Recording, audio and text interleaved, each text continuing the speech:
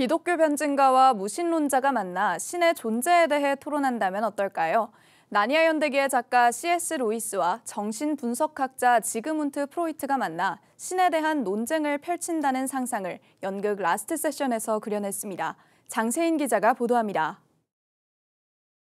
나니아 연대기의 작가이자 기독교 변증가인 C.S. 루이스와 대표적 무신론자인 정신분석학의 대가 지그문트 프로이트가 만나 토론을 한다면 어떨까? 이 상상에서 출발한 연극 라스트 세션은 신은 존재하는가라는 질문에 치열하게 답을 찾아 나갑니다. 미국의 극작가 마크 세인트 저메인이 아먼드 엠 니콜라이가 쓴 책 루이스 대 프로이트에서 영감을 얻어 실제로 일어난 적 없는 두 사람의 만남을 2인극으로 그려냈습니다. 그건 말도 안 되지. 신이 어떻게 역사적으로 증명될 수 있단 말인가? 이 믿지 않기로 선택을 한다는 거야말로 오히려 신의 존재에 대한 더욱 강력한 증거가 될 수 있다. 왜냐하면 무언가를 부정하기 위해선 우선 그걸 인식해야 되니까요.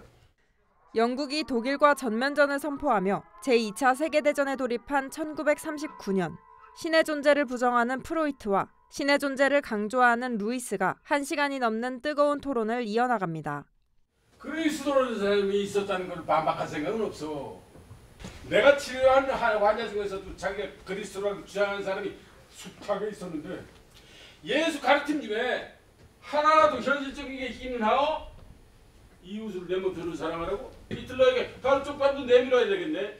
종교가 이 세상을 유천으로 만들고 있어. 두 사람의 논쟁은 비기독교인들에게는 신의 존재에 대해 생각해볼 기회를 주고 기독교인들에게는 그리스도의 실존을 다시 한번 깨닫게 합니다.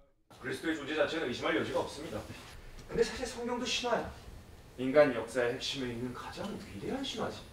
예수 그리스도가 실제로 우리와 함께 이 땅 위를 걸었다는 거죠. 그의 죽음은 신화를 진실로 바꾸며 그를 믿는 모든 이의 삶을 바꾼다고 토. 전쟁이라는 배경 속에서 삶과 죽음, 인간이 가진 나약함과 공존의 필요성을 통해 하나님의 존재를 탐구하는 연극 라스트 세션. 공연은 오는 9월 10일까지 서울대학로 TOM 1관에서 진행됩니다. 구티비 뉴스 장세인입니다.